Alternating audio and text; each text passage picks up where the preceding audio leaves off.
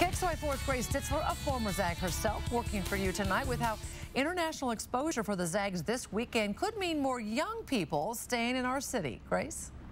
Right, Nadine, I'm a Spokane transplant. I'm originally from Seattle, and I know I'm not the only young professional who's heard from other people in different cities. Why would you want to live in Spokane? Everyone who lives here knows what this city has to offer, and many people are now hoping that the exposure from the Final Four will recruit young people to come here and to stay here.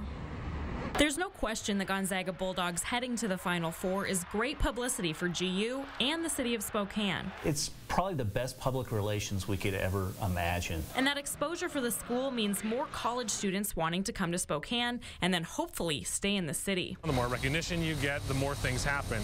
I think uh, people are going to start realizing Spokane is a cool place to live. It's a cool community. We have good restaurants. We're getting great stores the Macy's building. We've got great development things going on. Ben Klunt is the president of the Spokane Young Professionals, a nonprofit that hosts networking events. Their goal, retain young professionals in the Spokane community. So you build a network of people that a lot of these graduates coming out of school don't have, where they might be able to grow in this community. Too. Chad White owns Zona Blanca and is another Spokane native. He left for the big city and decided to come home. And I think I get asked this question all too often, why would you leave San Diego and move back to your hometown. He thinks the city is rich with opportunity and says the ZAG exposure will be good for the economy and convincing young people to settle down in the city he loves. My interpretation of it is like millennials are going to start kind of helping grow our city to be something bigger than it already is. I feel like the city is not getting older, it's getting younger. And for both Ben and Chad, it's an exciting time to be a ZAG fan and a Spokane fan. Uh, it's an exciting time to be a ZAG for sure.